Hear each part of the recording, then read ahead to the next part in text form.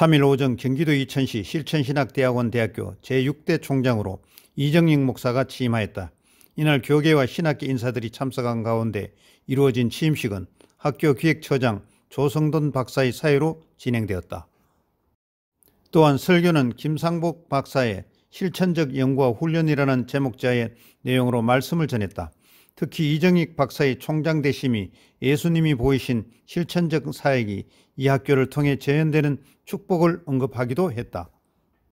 취임사에 임한 이정익 박사는 미력 하나마 소임을 다하겠다고 하면서 앞으로 실천 신학을 더 강조해 작지만 강하고 하나님 나라의 목회를 이뤄가는 목회자들을 훈련시키는 학풍을 이어가고 발전시켜 나가겠다며 이 시대가 요구하는 목회자를 양성해 나가겠다고 취임 소감을 전했다. 실천신대는 조성돈 박사, 정재영 박사, 이범성 박사, 박종환 박사, 김선영 박사, 김정선 박사 등 6명의 전임 교수와 신규 초빙된 개권 교수로는 고명진 목사, 김병산 목사, 송태근 목사, 이상학 목사, 유긴섭 목사, 지형은 목사가 있다.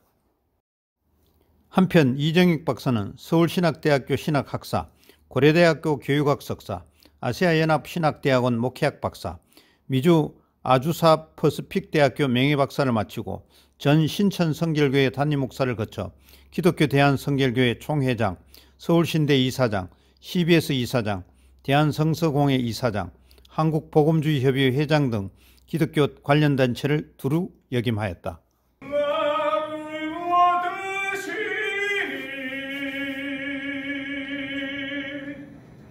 Ah!